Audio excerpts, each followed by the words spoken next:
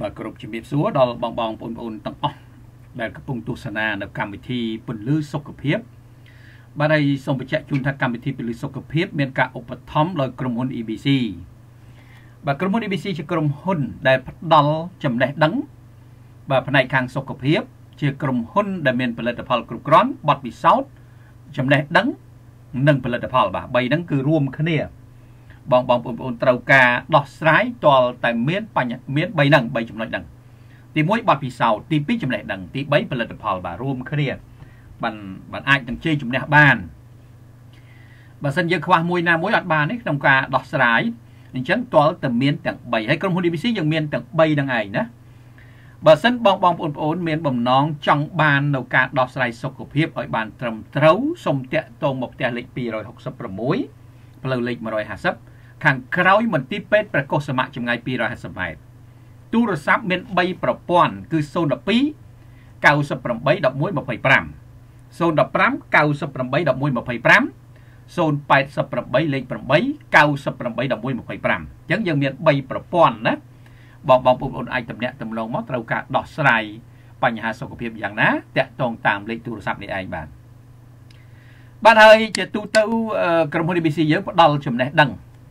ចំណេះដឹងយើងធ្វើឡើងតាមរយៈប្រព័ន្ធ YouTube បងបងប្អូនប្អូន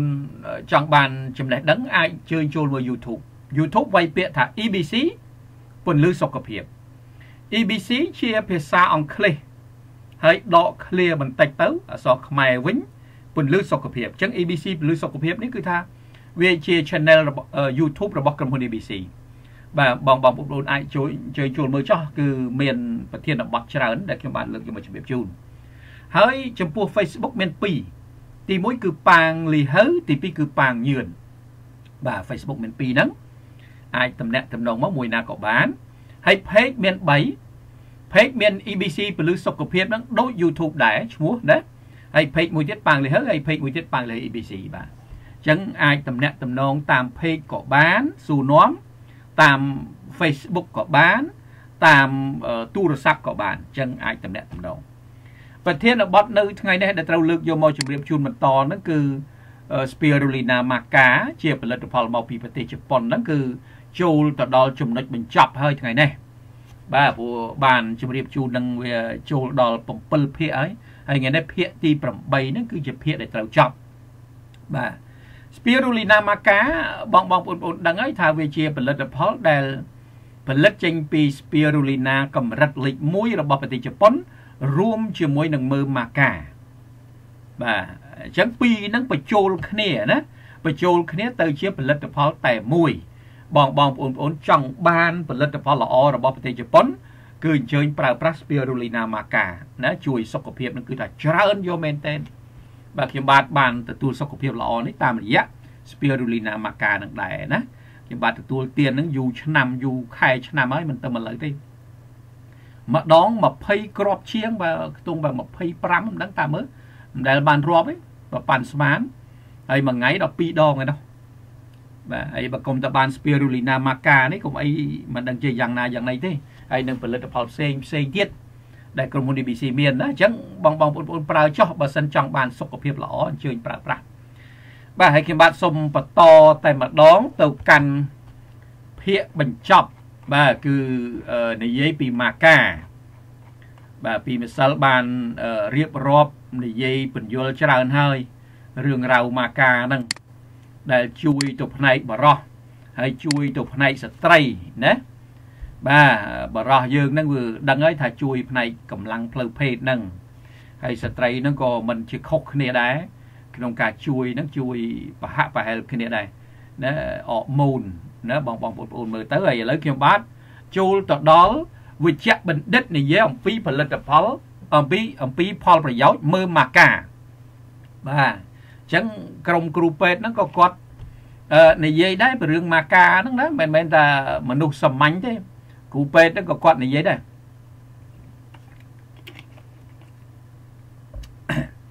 បាទឥឡូវយើងមើលទាំងអស់គ្នា ស្ដាប់ទាំងអស់គ្នា តើតើគ្រូពេទ្យគាត់មានយោបល់យ៉ាងណាចំពោះមើលម៉ាកាហ្នឹងណាអ្នកប្រើប្រាស់មិនមែនគ្រាន់តែជាអ្នកអត្ថាធិប្បាយអំពីម៉ាកានោះទេ គ្រូពេទ្យក៏ធ្វើការអត្ថាធិប្បាយផងដែរសារជាតិចម្រាញ់របស់វាត្រូវបានប្រើប្រាស់ក្នុងវិជាពេទ្យក្នុងប្រទេសប៉េរូណាគេទេបានន័យថាវិជាពេទ្យហ្នឹងផ្នែកអង្គពេទ្យក៏គេយកទៅប្រើប្រាស់ដែរណាគេចម្រាញ់សារជាតិរបស់វាហ្នឹងណាម៉ាកាហ្នឹង នៅក្នុងខែវិច្ឆិកា ឆ្នាំ1988ទស្សនាវដ្តីសម្រាប់សុខភាពឈ្មោះ Town Sen Letter បាទ Town Sen Letter នេះគឺជាទស្សនាវដ្តីណាក្រុមគ្រូពេទ្យបាទត្រូវបានដកស្រង់សម្ដីដោយនិយមពីការប្រើប្រាស់ម៉ាកាក្នុងវិជាពេទ្យបាទក្នុងទស្សនាវដ្តីហ្នឹងគឺថាក្រុមគ្រូពេទ្យហ្នឹងគេបានដកស្រង់សម្ដីរបស់គាត់យកទៅចុះផ្សាយ បាទនៅក្នុងទស្សនាវដ្តីហ្នឹងដែលក្រុមគ្រូពេទ្យហ្នឹងអត្ថាធិប្បាយអំពីមើលម៉ាកាណាវិជ្ជបណ្ឌិត Hugo Malaspina ដែលជាគ្រូពេទ្យជំនាញខាងជំងឺបេះដូង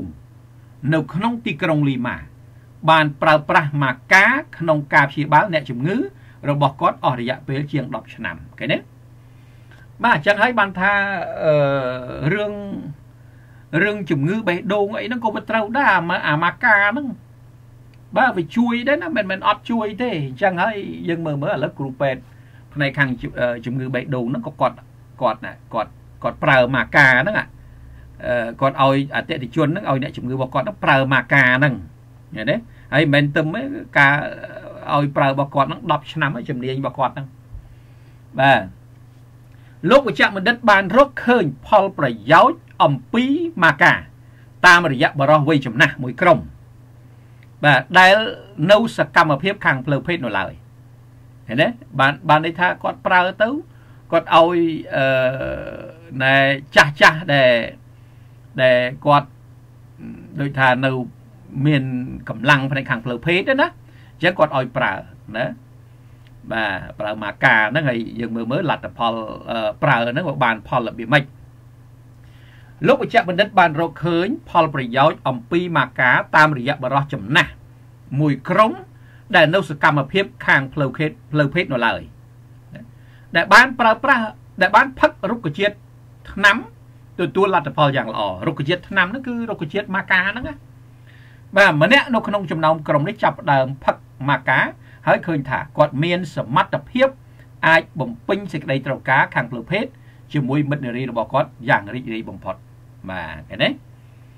បាទគាត់ឲ្យអ្នកណែបរោះដែលរៀងវ័យចំណាស់ហ្នឹងហើយគាត់ដូចថាមិនទាន់ជាគេថាអស់ទេណានៅមានសកម្មភាពផ្លូវភេទរបស់គាត់ទៅឡើយទេហើយដល់គាត់ឲ្យប្រើទៅគាត់ឃើញថាអឺគាត់អាចណាអាចរួមភេទជាមួយមិត្តនារីរបស់គាត់ហ្នឹងគឺថាយ៉ាងល្អទៀតផងណានៃនៃអញ្ចឹងអញ្ចឹងហើយបានអឺ ម៉ាកានេះគេសន្មត់ថាវាជួយផ្នែកខាងផ្លូវភេទហ្នឹងបាទគេនេះម្នាក់ក្នុងចំណោមក្រុមនេះបានចាប់ដើមផឹកមើលម៉ាកាបាទហើយឃើញថាគាត់មានសមត្ថភាពអាចបំពេញសេចក្តីត្រូវការខាងផ្លូវភេទជាមួយមិត្តនារីរបស់គាត់យ៉ាងរីករាយបំផុតភ្លាមនោះដែលអ្នកដតីទៀតភ្លាមនោះដែលអូពីតង់បាទភ្លាមនោះដែរអ្នកដតីទៀតណានៅក្នុងចំណោមក្រុមក៏ចាប់ដើមផឹកមើលម៉ាកាជាភេសជ្ជៈពៅ ហើយរីករាយនឹងកម្លាំងជំរុញណាដែលម៉ាកាផ្ដល់អរម៉ូនរបស់គេណាផ្ដល់ដល់អរម៉ូនរបស់គេគេណាបាទក្រុមផ្សេងហ្នឹងអឺណែគេឃើញល្អអញ្ចឹងប្រើដូចគ្នាទៅឲ្យប្រើឲ្យផលដូចទៅគ្នានឹងឯងវាមានខុសគ្នាអីណាអញ្ចឹងហើយបងបងប្អូនមិនខុសទេការប្រើប្រាស់មើលម៉ាកានេះណាមានមានការសិក្សាពិសោធន៍ដូចច្រើនណាកន្លងមកហ្នឹងណា អឺអញ្ចឹងរឿងម៉ាកានេះប្រវត្តិវាយូរលង់ណាស់តាក់ទងទៅនឹងការជួយជំរុញអរម៉ូនផ្នែកខាងផ្លូវភេទនោះឃើញទេអញ្ចឹងគ្រូពេទ្យហ្នឹងក៏គាត់សិក្សាពិសោធន៍ទៅលើអ្នកជំងឺរបស់គាត់ហ្នឹងដែលគាត់ឲ្យប្រើប្រាស់ហ្នឹងទទួលបានជោគជ័យណាទទួលបានជោគជ័យណាកម្លាំងកំហែងអីទូទៅហ្នឹងបាទខ្ញុំមានអ្នកជំងឺបែបហ្នឹងច្រើនដែរ ហើយភាពប្រសើររបស់គេ ជួយឲ្យខ្ញុំយល់ដឹងបន្ថែមទៀតណាហើយខ្ញុំបានណែនាំឲ្យប្រើដល់អ្នកជំងឺជាច្រើនទៀតពួកគេទទួលបានលទ្ធផលយ៉ាងល្អឃើញទេបាទនឹងនឹងគ្រូពេទ្យត្រូវបានដកស្រង់សម្ដីណា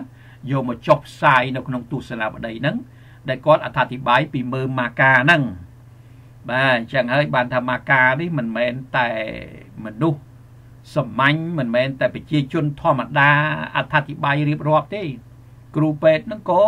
ធ្វើការអត្ថាធិប្បាយរៀបរាប់ផងដែរណាអញ្ចឹងហើយវាជាដែលរុក្ខជាតិដែលមានប្រយោជន៍ផ្នែកខាងជំរុញបង្កើនអរម៉ូនបាទមានវិជ្ជបណ្ឌិតជនជាតិពេរូម្នាក់ទៀតឈ្មោះលោក Aguila Calderon បាទជាអតីតប្រធាន មហាវិទ្យាល័យពេទ្យនៅឯសាកលវិទ្យាល័យជាតិ Federico Villarreal បាទ Federico Villarreal ណានៅទីក្រុងលីម៉ាបាទទីក្រុងលីម៉ាណាជាទីក្រុងរបស់ប្រទេសពេរូណាលីម៉ាហ្នឹងអញ្ចឹងហើយលោក Aguilar Calderon នេះជាអតីតប្រធានមហាវិទ្យាល័យពេទ្យទៀតណានៅសាកលវិទ្យាល័យ Federal Villarreal ណានៅទីក្រុងលីម៉ាហ្នឹង លោកវិជ្ជបណ្ឌិតបានប្រើប្រាស់ម៉ាកាសម្រាប់អ្នកអសមត្ថភាពផ្លូវភេទប្រដាប់ភេទមិនឡើងរឹងស្ត្រីក្រោយអស់រដូវនិងជំងឺអស់កម្លាំងទូទៅដោយទទួលបានលទ្ធផលល្អឃើញទេបាទបានន័យថាគាត់ឲ្យអ្នកជំងឺដែលគាត់មានបញ្ហាផ្លូវភេទនឹងពិបាកណាដែលខ្សោយអញ្ចឹងគាត់ឲ្យប្រើក៏ឃើញលទ្ធផលល្អ ហកស្ត្រីក្រោយអស់រដូវស្ត្រីក្រោយអស់រដូវនឹងស្ត្រីវ័យចំណាស់ចំណាស់ណាដែលគាត់ប្រើទៅបានលទ្ធផលល្អទៀតណាហើយនឹងស្ត្រីហើយនឹងមនុស្សដែលដែលអស់កម្លាំងហេវហត់ហិតហៃហ្នឹងណាប្រើទៅលទ្ធផលល្អទៀតឃើញទេបាទនឹងប្រវត្តិរបស់មើម៉ាកាដែលមានការប្រើប្រាស់ដោយគ្រូពេទ្យណាមានការប្រើប្រាស់ដោយគ្រូពេទ្យ ណាអញ្ចឹងបងបងប្អូនប្អូនអាចយល់បានហើយមើម៉ាកានេះមិនមែនជាអឺរបស់ដែលមិនមិនមានប្រវត្តិត្រឹមត្រូវប្រវត្តិល្អប្រវត្តិប្រសើរនោះទេណាបើមិនល្អមិនប្រសើរមិនមានប្រសិទ្ធភាពអីខាងជប៉ុន គេមិនមែនយកមកដាក់ទេណាខាងជប៉ុនណាអញ្ចឹងហើយបានជប៉ុនគេច្បាស់លាស់ណាស់ដោយសារវាមានប្រយោជន៍សម្រាប់មនុស្សបាទ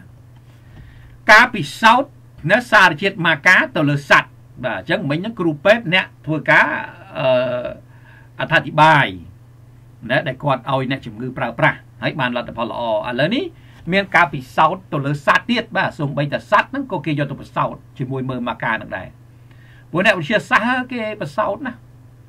បាទគេគេពិសោធន៍តែមិនមែនចេះតែថាចេះតែនិយាយគេពិសោធន៍ឲ្យឃើញចាក់ស្ដែងណាបាទដើម្បីបញ្ជាក់ដល់គំនិតទាំងអស់ អ្នកស្រាវជ្រាវបានបង្កើតការពិសោធន៍ទៅលើសត្វចិញ្ចឹមមួយក្រុមណាគេនេះគេយកសត្វចិញ្ចឹមមួយក្រុមយកមកពិសោធន៍លទ្ធផលនៃការពិសោធន៍នេះត្រូវបានបោះពុម្ពផ្សាយក្នុងអត្ថបទចេញផ្សាយនៅខែមេសា ឆ្នាំ2000នៃទស្សនាវដ្តីសុខភាព Urology Magazine ណា Urology Magazine ណាទស្សនទស្សនាវដ្តីណាបាទអញ្ចឹងអញ្ចឹងទស្សនាវដ្តី Urology Medicine គេបោះពុម្ពផ្សាយនៅអត្ថបទពិសោធន៍ហ្នឹងលទ្ធផលពិសោធន៍ហ្នឹងហើយចេញផ្សាយឆ្នាំ2000ណាសត្វកណ្ដុរដែលបានផ្ដល់នៅសារជាតិម៉ាកា ដែលមានម៉ាកាម៉ៃនិងម៉ាកាអ៊ីនហ្នឹងបានបង្ហាញនៅការកើនឡើងយ៉ាងខ្លាំងផ្នែកធម្មពលនិងសកម្មភាពណាសត្វទាំងនេះក៏បង្ហាញនៅការកើនឡើងផ្នែកសកម្មភាពផ្លូវភេទខ្លាំងជាងសត្វដែលមិនបាន ផ្ដល់សារជាតិម៉ាកាឬក៏បានផ្ដល់តែចំនួនតិចតួចបាទឃើញទេបាននេះតែគេយកសัตว์ហ្នឹងទៅប្រសោតគេឲ្យសัตว์ហ្នឹងវាស៊ីអាម៉ាកាហ្នឹងអាសារជាតិម៉ាកាហ្នឹងអញ្ចឹងមកក្រុមណាដែលវាស៊ីហ្នឹងគឺថាសัตว์ហ្នឹងគឺសកម្មបើវាឃ្លាវខ្លាវាមានកម្លាំងកំហែងមានធម្មពលណាវាមិនមែនសัตว์សំកុកទេណាបាទមានសัตว์ទុយមួយតឹងមឹងទេ បាទនេះវាមានធម្មពលខ្លាំងបាទហើយបើគេសិក្សាសង្កេតទៅលើផ្លូវភេទរបស់សត្វនឹងទៀតកាន់តែល្អទៅទៀតណាប្រសើរជាងសត្វដែលអត់បាននៅផ្ដល់សារជាតិម៉ាកាណាឃើញទេបាទអញ្ចឹងនេះគឺជាការពិសោធន៍ណាមើលម៉ាកាហ្នឹងបងបងប្អូនណាបានស្ដាប់ឮទាំងអស់គ្នាហើយណាបាទអញ្ចឹងថាដើម្បីបញ្ជាក់ដល់គំនិតទាំងអស់នេះអ្នកស្រាវជ្រាវបានបង្កើតការពិសោធន៍ទៅលើសត្វចិញ្ចឹមមួយក្រុម លទ្ធផលនៃការពិសោធន៍ត្រូវបានបោះពុម្ពផ្សាយក្នុងអត្ថបទចេញផ្សាយនៅខែមេសាឆ្នាំ2000នៃទស្សនវិស័យសុខភាពឈ្មោះ Urology Magazine សត្វកណ្ដុរដែលបានផ្ដល់នៅសារជាតិម៉ាកាដែលមានម៉ាកាម៉ៃម៉ាកាអ៊ីនហ្នឹងបានបង្ហាញនៅការកើនឡើងយ៉ាងខ្លាំងផ្នែកខាងធម្មពលនិងសកម្មភាពសត្វទាំងនេះក៏បង្ហាញនៅការកើនឡើងខាងសកម្មភាពលើភេទខ្លាំងជាងសត្វដែលមិនបានផ្ដល់សារជាតិម៉ាកា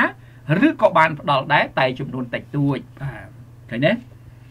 អាអាចំនួនតិចតួចហ្នឹងគឺថាវាវាមានធម្មពលតិចចឹងទៅបាទធម្មពលតិចវាវាប្រសើរដែរហើយបើចំនួនច្រើនហ្នឹងធម្មពលខ្លាំងចឹងទៅហើយបើអត់បានឲ្យសារជាតិម៉ាកាសោះនោះអាហ្នឹងក៏កាន់តែអត់សូវមានចឹងទៅគេណាគេមានការប្រៀបធៀបអញ្ចឹងបាទអញ្ចឹងហើយសម្រាប់បងបងប្អូនប្អូនដែល មានសត្វចិញ្ចឹមអីហ្នឹងបាទយកទៅឲ្យប្រើណាមានសត្វចិញ្ចឹមអីហ្នឹងយកទៅឲ្យប្រើណាជាពិសេស Spirulina maca អីហ្នឹងសត្វចិញ្ចឹមដូចពពួកមន់ជុលអីហ្នឹងគួរប្រើណាប្រើទៅគឺសុខភាពមន់ហ្នឹងវាល្អទៅទៀតបាទមន់ជុលក៏ដោយមិនជុលក៏ដោយប្រើទៅគឺសុខភាពល្អណាពីព្រោះវាសម្បូរទៅដោយអាសារជាតិបំពន់ណាណាហើយកាលណាវាមានសារជាតិបំពន់ច្រើនចេះ វាធ្វើឲ្យកម្លាំងកំហែងរបស់វាល្អណាកម្លាំងកំហែងរបស់វាណាអញ្ចឹងបងបងប្អូនប្អូនសាកលបងមើលទៅឃើញជាក់ស្ដែងហើយណា Spirulina maca របស់ប្រទេសជប៉ុនបាទឥឡូវយើងឃើញមួយទៀតបាទពិធីបន់រំលឹកគុណដល់មើម៉ាកាវាមានពិធីបន់រំលឹកគុណដល់មើម៉ាកាទៀតណាមិនមិនធម្មតាទេដល់មើម៉ាកានេះ បងបងប្អូនប្អូនគួរតែមានចំណាប់អារម្មណ៍ហើយបាទវាមិនយើងមើលមើលរុក្ខជាតិនៅលើភពផែនដីនេះមានមានរុក្ខជាតិណាមួយដែលគេរំលឹកគុណគេគេធ្វើបន់រំលឹកគុណហ្នឹងមានទេអត់មានទេបាទអត់មានទេហើយស្រុកគេហ្នឹងគេធ្វើបន់រំលឹកណោះសំបីតែយើងមើលណោះរូបភាពកពូលប៉មគេណោះបាទកពូលប៉មនៅលើភ្នំនោះគឺគឺមើលម៉ាកាគេទេ គេធ្វើប៉មគេហ្នឹងគឺមើលម៉ាកាទៅដល់ឃើញតែហ្មងបាទថ្ងៃណាទៅលេងម្ដងទៅបងបងប្អូនបាទទៅឲ្យស្គាល់គេណាយើងមើលប៉មគេហ្នឹងរៀងមើលម៉ាកាហ្នឹងទាំងស្រុងតែម្ដងបាទនៅក្នុងប្រទេសប៉េរូម៉ាកាជាអាហារនៅឯពិធីបុណ្យប្រចាំឆ្នាំលើកទី3រំលឹកអំពីមើម៉ាកានៅក្នុងខេត្តអឺឈូរិនក្នុងប្រទេសប៉េរូ ផលិតផលដែលធ្វើអំពីមើម៉ាកាដែលជួយបង្កើនកម្លាំងខាងផ្លូវភេទនោះត្រូវបានគេដាក់តាំងបង្ហាញយ៉ាងច្រើនឃើញទេបាទនឹងគេដាក់តាំងបង្ហាញមានលក់ដុំលក់រាយមានអាផលិតជារបស់របរហូបចុកលាយជាមួយមើមម៉ាកានៅទៅនឹងណាតកាលណាមានពិធីបុណ្យម្ដងម្ដងហ្នឹងណាបាទអញ្ចឹងយើងស្ដាប់ទាំងអស់គ្នា ណាផលិតផលដែលធ្វើពីមើមម៉ាកាជួយកម្លាំងខាងផ្លូវភេទនោះត្រូវបានគេដាក់តាំងបង្ហាញយ៉ាងច្រើនប្រជាជនពេរូបានធ្វើជានំឃើញទេនំហើយខូគីខូគីនំខូគីហ្នឹងនំខេកណាហើយបបរក្តៅណានំចំណិតម៉ាកា និងភេសជ្ជៈលាយមើមម៉ាកា ដែលមានក្លិនឈ្ងុយឆ្ងាញ់ណែឃើញទេបាទអញ្ចឹងគេធ្វើជានំនំប្រភេទផ្សេងផ្សេងគ្នាអញ្ចឹង សូម្បីតែបបរហ្នឹងក៏គេដាក់ម៉ាកាហ្នឹងចូលដែរគេធ្វើបបរមើលម៉ាកាហ្នឹងអខ្លះគេធ្វើជាភេសជ្ជៈណាភេសជ្ជៈលាយមើលម៉ាកាអញ្ចឹងទៅទៅតាមចំណង់ចំណូលចិត្តរបស់គេអញ្ចឹងភេសជ្ជៈហ្នឹងគេមានដាក់ស្អីដាក់ស្អីហើយគេគេអត់ចោលទេស្អីក៏ម៉ាកាដែរក្នុងពិធីបុណ្យគេហ្នឹងណាបានន័យថាអឺចំណុចសំខាន់នោះគឺយកមើលម៉ាកាទៅធ្វើជាអាហារអស់ហ្នឹង បាទធ្វើជាភេសជ្ជៈក៏បានធ្វើជានំក៏បានធ្វើជាអីក៏បាន គេមានលាយទៅជាមួយមើលម៉ាកាទាំងអស់រូបមន្តផ្សេងផ្សេងក៏មានប៉ុន្តែរូបមន្តមើលម៉ាកាជារូបមន្តសំខាន់នៅក្នុងពិធីបុណ្យរបស់គេហ្នឹងបាទបាទអញ្ចឹងបងបងប្អូនប្អូនឃើញហ្នឹងទេមើលរូបភាពដឹងហើយបាទអញ្ចឹងមិនធម្មតាទេរុក្ខជាតិមួយនេះរុក្ខជាតិមើលមួយនេះគឺថាល្បីព្រោះប្រជាជនគេក៏ពឹងផ្អែកទៅលើហ្នឹង ទៅលើអាមើម៉ាកាហ្នឹងតំបន់អឺខេត្តជូរិននេះបាទតំបន់ខេត្តជូរិនហ្នឹងនៅក្នុងភូមិកណ្ដាលនៃប្រទេសប៉េរូហ្នឹងហើយនៅលើតំបន់ភ្នំអាន់ដេសហ្នឹងវាមានដាំដុះណាមានដាំដុះម៉ាកានៅទៅដឹងអញ្ចឹងហើយបើពិធីបុណ្យហ្នឹងគេធ្វើនៅទៅដឹងហើយហើយយើងមើលតែកពូលប៉មគេដឹងណាបងបងប្អូនកពូលប៉មគេហ្នឹងគេធ្វើអញ្ចឹងបាទ នៅឯស្តង់ជាច្រើនស្ត្រីស្ត្រីកំពុងធ្វើភេសជ្ជៈម៉ាកាឃើញទេបាទគេមានស្តង់គេណាបាទមានតូបមានស្តង់គេដូចយើងបនំទូកអញ្ចឹងណាមានតូបមានស្តង់អញ្ចឹងដែរហ្នឹងដូចគ្នាបាទអញ្ចឹងនៅឯស្តង់ជាច្រើនស្ត្រីស្ត្រីកំពុងតែធ្វើភេសជ្ជៈមើលម៉ាកាមើលម៉ាកាត្រូវបានត្រាំក្នុងទឹកក្អមណាហើយតុកត្រូវបានក្រាលទៅដោយគ្រឿងផ្សំ ជាច្រើនមុខសម្រាប់ធ្វើជាភេសជ្ជៈឃើញទេបាទអញ្ចឹងហ្នឹងគឺគេមានតាំងមើលម៉ាកានៅតំណឹងហើយតុកគេនឹងក្រាលជាមួយនឹងគ្រឿងផ្សំបាទគេដាក់ឲ្យមើលណាបាទភេសជ្ជៈជាទឹកក្រឡុកប្រភេទនេះ បាទគេទេទឹកក្រឡុកអាហ្នឹងគេធ្វើជាទឹកក្រឡុកបងបងបងប្អូនបាទគេក្រឡុកចូលគ្នាភេសជ្ជៈជាទឹកក្រឡុកប្រភេទនេះរួមមានមើមម៉ាកាណែត្រាំ ទឹកត្រាំទុកបាទមានរួមមានមើមម៉ាកាហើយវាមានអាទឹកទឹកដែលគេត្រាំទុកទៀតទឹកម្លឹងទឹកមើមម៉ាកាហ្នឹងហើយតាមមើលណាហើយមានលហុងស្រស់ទៀតដែលដឹកពីតំបន់ទំនាបលហុងស្រស់ហ្នឹងគេយកមកពីតំបន់ទំនាបមានទឹកដោះគោខាប់បាទមានយ៉ាងទៀតណាសុទ្ធណមានពងទាពងមន់មានពងមន់នេះទៀតណាទឹកខ្មុំបាទមានទឹកខ្មុំ ហើយនឹងគេដាក់វ៉ានីឡាទៅជាមួយអញ្ចឹងគ្រឿងផ្សំរបស់គេហ្នឹងគឺថានៅក្នុងនោះមានមើមមានមើមម៉ាកាហ្នឹងជា ជាគ្រឿងផ្សំធំហើយមានទឹកត្រាំទុកណាទឹកត្រាំទុកហ្នឹងអឺប្រហែលជាត្រាំជាមួយមើមម៉ាកាហ្នឹងហើយមិនដឹងលលហុងស្រស់ណាគេដាក់លហុងស្រស់ទៀតណាអឺហើយនឹងទឹកដោះគោខាប់សុទ្ធទឹកខ្មុំនិងវ៉ានីឡា ទាំងអស់លាយជាមួយនឹងទឹកខ្មេះអូថែមទឹកខ្មេះទៀតបាទបាទទាំងអស់លាយជាមួយនឹងទឹកខ្មេះបាទហើយញញឹមបាទអូអ្នកដែលធ្វើហ្នឹងគេញញឹមគេលាយអញ្ចឹងហើយណាបងបងប្អូនបាទគេលាយអញ្ចឹងមានគ្រឿងផ្សំរបស់គេអញ្ចឹងគេទុកក្លុកចូលគ្នាណាហើយគេញញឹមបាទឃើញទេបាទខ្ញុំបានសួរទៅកាន់មនុស្ស ជាច្រើនអ្នកថាហេតុអ្វីចាំបាច់ប្រើមើមម៉ាកា បាទលោកអ្នកដែលគាត់ទៅដល់ហ្នឹងណាបាទលោកអ្នកដែលគាត់សរសេររយរៀបរាប់ពីអត្ថបទហ្នឹងគាត់សួរបាទគាត់សួរថាហេតុអីបានចាំបាច់ទៅប្រើមើមម៉ាកាធ្វើអីណាមានស្ត្រីម្នាក់បានស្ទុះមកឆ្លើយចំពោះមុខខ្ញុំទាំងញញឹមថាចាដើម្បីផ្លូវភេទនឹងណាចាបាទបាទឃើញទេ អឺគេនិយាយទៅម៉ាកានេះបើនិយាយដោយខ្លីថាវាវាល្បីទៅផ្នែកខាងហ្នឹងហើយ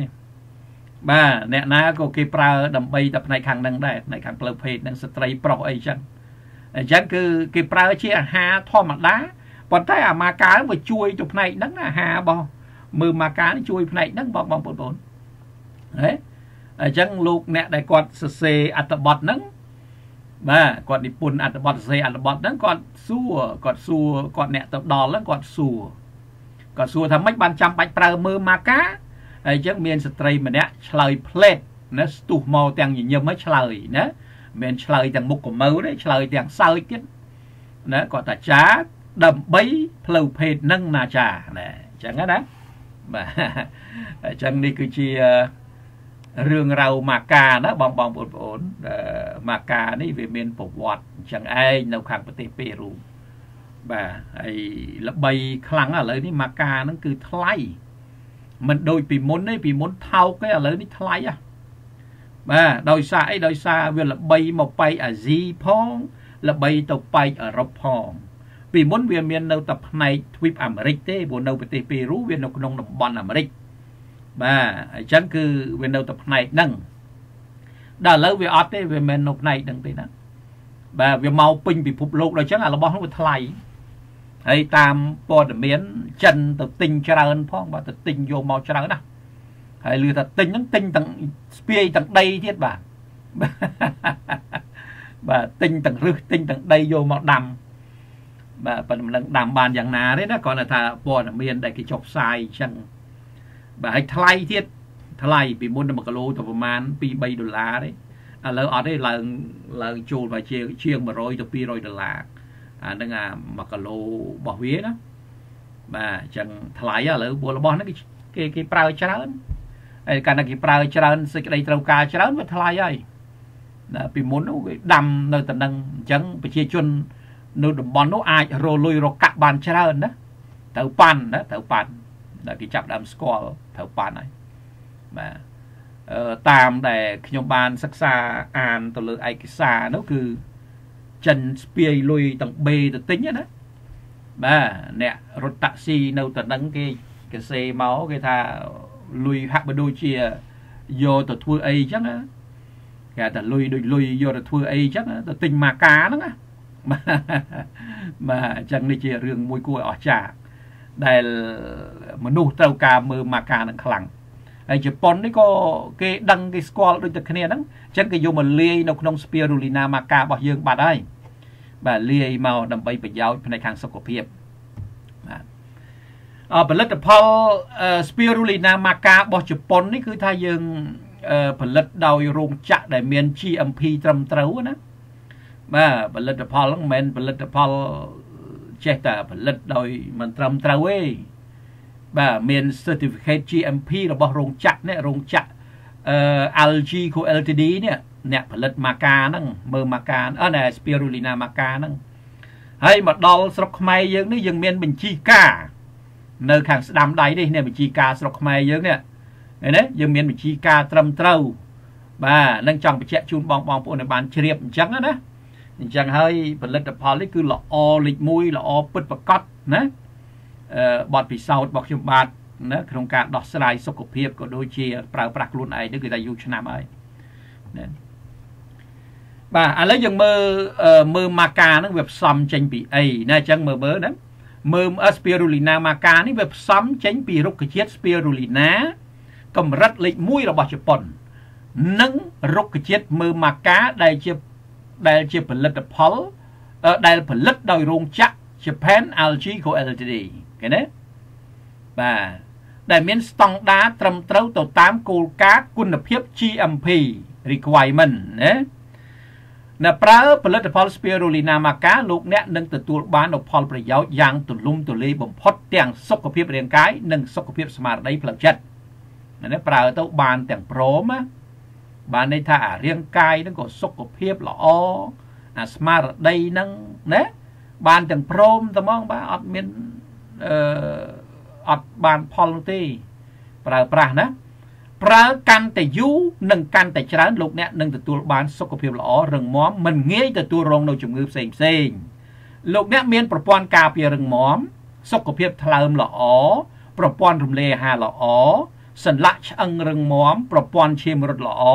និងសរីរាង្គផ្សេងផ្សេងទៀតក៏មានសុខភាពល្អដែរជាពិសេសលោកអ្នកអាចគេចផុតពីជំងឺធ្ងន់ធ្ងរដូចជាសាច់ដុះជំងឺមហារីកឡាក់លោកអ្នកមានសុខភាពធានាសុវត្ថិភាពជាង អ្នកដែលមិនបានប្រើប្រាស់សោះនោះឃើញទេបាទបើអត់បានប្រើអាហ្នឹងអត់មានអីនេះទេយើងប្រឈមព្រោះមនុស្សម្នាក់ម្នាក់ហ្នឹងលោកបងបងប្អូនប្អូនដឹងហើយ មនុស្សម្នាក់ម្នាក់ហ្នឹងគឺប្រឈមនឹងជំងឺណាបាទប្រឈមនឹងជំងឺដល់អញ្ចឹងទៅអឺមនុស្សយើងនេះអត់មានបានខ្វល់ខ្វាយទីបំផុតកើតឃើញទេកើតជំងឺនេះកើតជំងឺនោះមិនឈប់មិនឈរអញ្ចឹងទៅ តែបើយើងបានប្រើប្រាស់ហ្នឹងគឺថាសុវត្ថិភាពច្រើនបាទសុវត្ថិភាពច្រើន មានន័យថាយើងវាវាមានសុវត្ថិភាពជាងអ្នកអត់បានប្រើណា បើអត់ប្រើហ្មងគឺអង្គុយអង្គុយរងចាំតែថ្ងៃឈឺហ្នឹងណាអង្គុយរងចាំតែថ្ងៃឈឺព្រោះអាជំងឺនេះវាមានរួចស្រេចហើយណាកោសិការបស់យើងនេះវាប្រុងតទុនប្រុងតខ្សោយហ្នឹងមួយថ្ងៃទល់មួយថ្ងៃមួយខែទល់មួយខែមួយឆ្នាំទល់មួយឆ្នាំហ្នឹងណាអឺដល់ខ្សោយបន្តិចតិចដល់ទីបំផុតបានផ្ទុះទៅជាជំងឺណាទៅជាសាច់ដុះទៅជាកើតគិសទៅជាទឹកនោមផ្អែមទៅជាលើសឈាមទៅជាឈឺនេះឈឺនោះអត់ឈប់អត់ឈរណា បាទព្រោះយើងអត់មានអីបានទៅជួយដោះស្រាយសោះអត់មានអីបានទៅជួយបង្អង់លបឿននៃការដែលដែលដែលវាធ្លាក់ចូលទៅក្នុងជំងឺសោះអញ្ចឹងវាកើតតែបើយើងបានប្រើប្រាស់ spirulina maca នេះមានន័យថាយើងបានត្រៀមលក្ខណៈរួចជាស្រេចនៅការកាត់បន្ថយណាកោសិការាងកាយឲ្យធ្លាក់ទៅជាជំងឺនោះអញ្ចឹងយើងបន្ថយយើងអត់ងាយឈឺគេណាបាទ នឹងបងបងប្អូនប្រើអត់ខុសទេហើយរុក្ខជាតិល្បីទាំងពីរនេះរួមគ្នាណាមិនមែនមិនមែនរុក្ខជាតិតែមួយតែ spirulina ទេទេវាមាន spirulina ហើយបូកជាមួយមើម៉ាកាទៀតបាទអញ្ចឹងប្រើគឺថាបានផលប្រយោជន៍ណាស់អឺគួរប្រើណាបាទគួរប្រើស្ដាយអ្នកដែលគេអត់យល់ស្ដាយជាពិសេសអ្នកមានលទ្ធភាពផងហើយអត់យល់អត់បានប្រើប្រាស់ បាទហើយដល់អញ្ចឹងទៅចេះតែបដោយខ្លួនមួយថ្ងៃតិចថ្ងៃតិចឃើញទេអ្នកខ្លះឈឺឈឺហើយដោះស្រាយអត់ចេញទេក៏មានដែរអ្នកឈឺនេះឈឺនោះហើយបើចេញហ្នឹងចេញទាំងអស់លុយរាប់ពាន់រាប់ម៉ឺនដុល្លារបាទកើតសាច់ដោះកើតអីហ្នឹងមិនអស់តិចណាត្រូវការវះកាត់ត្រូវការចាក់គីមីបាញ់កម្មស្មីអីចឹងទៅហើយមិនស្មើថោកអឺនៅស្រុកខ្មែរយើងវាល្មមមកទៅខាងប្រទេសសិង្ហបុរីអីឧទាហរណ៍អានសិតរាប់ម៉ឺនហើយ សិតរាប់ម៉ឺនហើយបាទអញ្ចឹងហើយបើបានប្រើប្រាស់គឺមានន័យថាយើងមានសវត្ថភាពជាងណាវាវាវាមិនងាយនឹងកើតបើយើងបានប្រើប្រាស់នឹងការពាររួចស្រេចអាជំងឺចឹងចឹងព្រោះអាជំងឺចឹងចឹងវាកើតឡើងដោយសារកោសិកាលូតលាស់ខុសប្រក្រតីតាហើយកោសិកាលូតលាស់ខុសប្រក្រតីដោយសារខ្វះសារជាតិបំពន់តុល្យភាពសំខាន់សំខាន់ ណាដោយបានបញ្យល់នៅក្នុងវគ្គនិយាយពី spirulina កម្រិតលេខ1របស់ជប៉ុនអញ្ចឹងវាវាខ្វះអាសារជាតិ beta carotene សារជាតិ picocyanin សារជាតិ xanthophyll chlorophyll ណាវាខ្វះសារជាតិអស់ហ្នឹងរួមជាមួយវីតាមីនប្រូតេអ៊ីនរ៉ែជាលក្ខណៈរុក្ខជាតិបៃតងជាច្រើនទៀត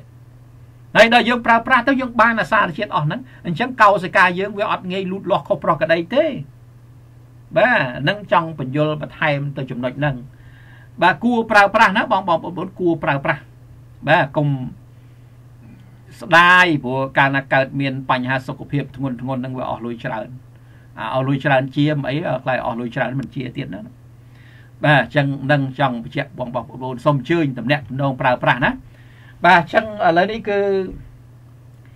ប្រធានបទនិយាយពី spirulina maca គឺចប់ត្រឹមនេះឯង បាទចប់ត្រឹមនេះឯងណាអឺបងបងប្អូនកុំភ្លេចជួយ share ផងហើយ